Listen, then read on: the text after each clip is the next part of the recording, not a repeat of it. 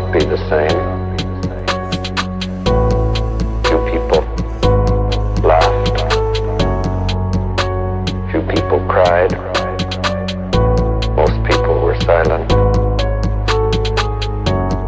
I remembered the line from the Hindu scripture, the Bhagavad Gita.